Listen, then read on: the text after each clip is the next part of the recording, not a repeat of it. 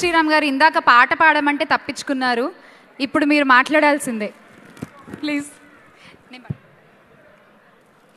ఇందాక సిడ్ శ్రీరామ్ గారి మీద గౌరవంతో పాట పాడలేదు. ఇప్పుడు శ్యామల గారి మీద గౌరవంతో మాట్లాడుతున్నాను అబ్బా జన్మ అన్యాయం అయిపోయింది ఇవాళ. థ్యాంక్ యూ థ్యాంక్ యూ విచ్చేసిన సాయి కుమార్ గారి అభిమానులకి వారి కుమారుడు గారి అభిమానులకి నా హృదయపూర్వకమైన నమస్కారాలు.